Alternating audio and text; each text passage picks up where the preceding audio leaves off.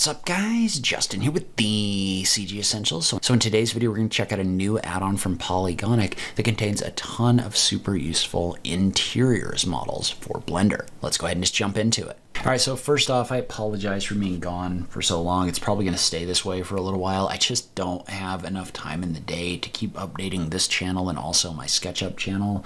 So I've been doing my best, but I just had to kind of like ramp things back a little bit. So I'll be back on and off. Um, I still want to release my CG Essentials course. I just haven't quite gotten there yet. So um, in today's video, though, we're going to check out this Interniq collection from the guys over at Polygoniq. And so this is basically a collection of interiors assets. So these are assets designed to be used in your models um, for rendering uh, things like cabinets, things like uh, sofas and chairs and other things like that. One of the reasons that I'm taking a look at this is just because the quality of stuff from Polygoniq is always pretty high. So I do like to make videos about their stuff when it comes out just because they do a really good job. And so what I wanted to do is just kind of scroll through, show you how to install it, a little bit of what's involved or what's um, included, and then uh, kind of go from there. So feel free to leave a comment below. Let me know what you think. Um, there are three license types. There's the starter, which is just going to give you a few of the assets right here. There's the light version, which is a little under 50%, and then there's the full version right here.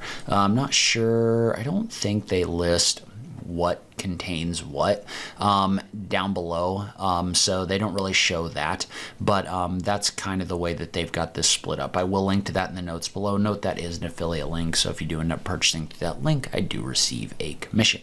But the way this is going to work is this is going to work through their engon asset browser, right? And so what that does is that makes installation pretty easy. So if we hop over into Blender, right, and we're going to go, and I kind of stopped in the middle of this so you could see how I was going to do it. So the first thing you need to do is download and install engon. So engon you can find, engon you can find just by clicking on this big link right here. It'll take you to the engon page, and it's free to download. So you can just download that and install it like you would any other add-on, which I guess with Blender 4.2 and beyond, people might still be confused about that. You can click on the little drop down right here, click on install from disk, and then go find the zip file for engon. So once you do that, what this is going to do is this is going to give you the ability to install polygoniq asset packs.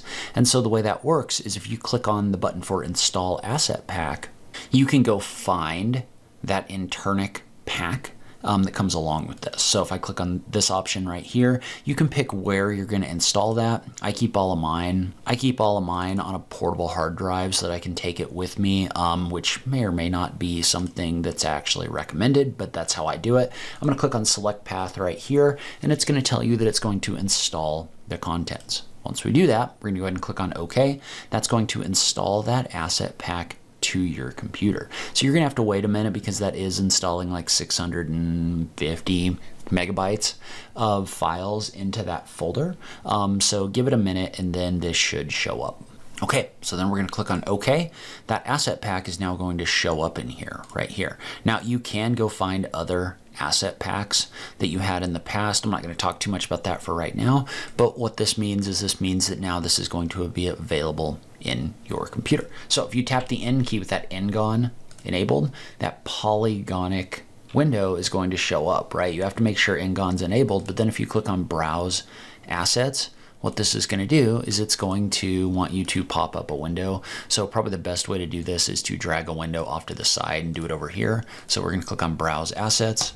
That's going to set this to the polygoniq window right here, and you're going to see all of the different things contained inside of this tool in the polygoniq asset browser. If you do have other tools in here like Polygoniq or something like that, um, that's going to show up here as well. But the way that works is say you want to bring something in like this accent armchair, you just click on the button right here in order to spawn that, and that's going to bring that in to Blender. And so if we take a look at this asset, and so one of the cool things about these is if you click in here and you look at this, you go over to the uh, polygoniq window right here, you can actually adjust the colors associated with this. So notice how I can change this so that it's whatever color that I want inside of the rendered space right here. Now there's also some secondary colors in here. If we adjust the secondary colors, notice how in this case it's going to be the trim, right? And you can make that brighter or less bright um, by using the color wheel right here. So um, in this case it's going to be the trim, but for some of these other models it might be something different, right? So if we bring in this armchair right here, I'm just going to move this guy over And so one thing to kind of pay attention to when you're bringing stuff like this in is the colorization factor. So like for example, say I've got this and I want to make it a little bit more of a color, right? So something kind of like this. Notice how nothing is happening in here. You need to adjust the colorization factor like this in order to set how this is going to be colorized, right? So same thing here. If you wanted this to be some kind of a colored metal, you need to make sure that you toggle that factor up right here. You can set the strength of the factor in here, but these are going to be editable so that you can adjust those colors. And so if you do want to see more of these, you can kind of drag over like this in order to adjust the size um, of those objects inside of the material library right here. But you can see how you've got different chairs, you've got bedrooms. Like for example, this one is like a full bedroom setup. So if I click and bring this in, right, this is like a complete bedroom setup that comes with a bed. It's got the two end tables. It's got um, the closets on the side over here with the materials all set up and ready to render like this. Um, now there are light adjustments in here and actually let's take a look at that because that's actually pretty cool. So I'm going to delete out the lights that I added but notice how this object right here, these are actually set up to be emissive materials. So if I tap, um, or actually let's jump over into Eevee or uh, cycles. So we're gonna go to cycles right here. I'm gonna change this to GPU render, do a little bit of denoising. But some of these are set up with like emissive materials, right? So if I come in here and set this to like 10,000, and so notice how this is actually going to emit light in your scene, and you can adjust things like the colorization of that light, right? So notice how I can adjust this so that it puts off a red light or whatever. And I don't have any walls in here to catch this, otherwise you'd see it a little bit more. But these actually do have lighting pieces associated with them in your render as well. And so this actually does have support for the native asset browser as well, if you'd rather use that. Um, notice how these come in here and they're all organized this way. So a lot of the time I tend to use more the asset browser right here, but it's got different fabric materials. It's got objects for like purses that you can put on tables. It's got food and drink, uh, a ton of furniture in here. So I really like these cabinets, for example. Um, so if I wanted to take one of these cabinets, I can just drag it into the scene and it's good to go, right? It's going to take a second to compile those materials, but when it's done, you're going to have this full-on cabinet. This. And again, the materials are all set up and mapped properly, so you can just drop this into your scene and render with it really quickly. All right, so here's an example of a scene that's been built using these assets. So um, if you look at them, right, they've got really high quality textures. Um, they've been modeled in a way that they actually look really good.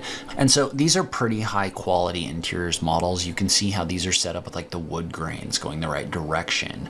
Um, everything is set up so that it reflects properly. And um, it's just good for, um, for populating all of those different scenes.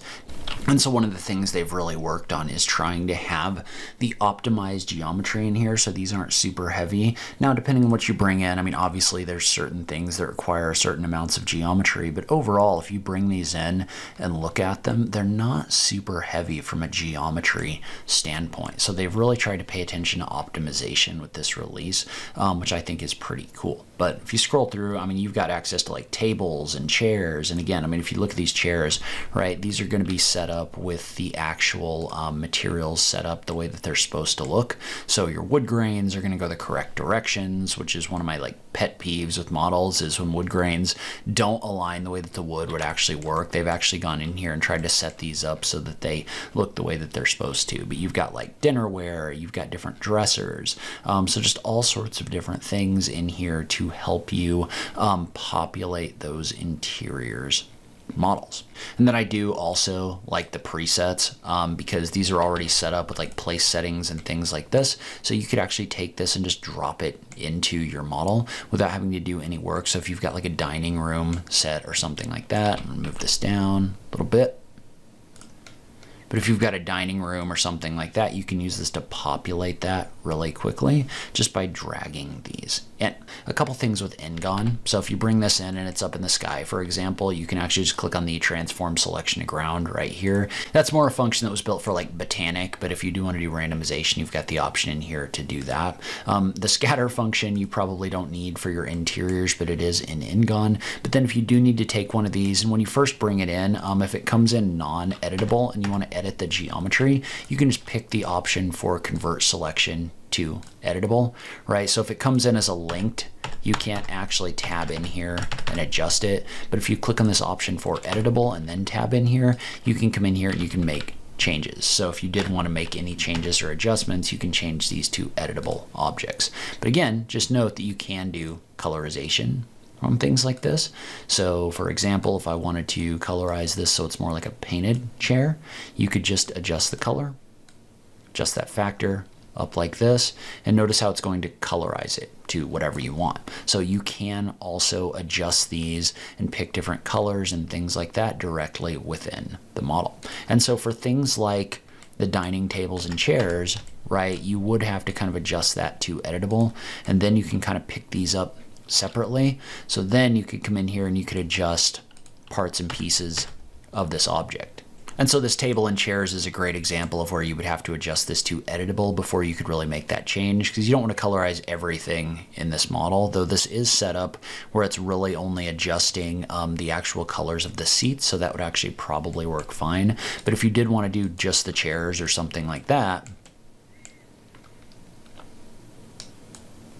you could change those to editable right here. And you could either select one and edit it, or if you pick multiples up like this, so if I pick up all these chairs, right? So shift click, shift click, shift click, like this, and then I do an edit all selected, this is going to change all of those selected objects at once. So you can come in here and make edits to multiple different objects just like this. Or if you want to put it back, you can select these, change them back to linked, and it's going to change them back to whatever it's linked to here in the library.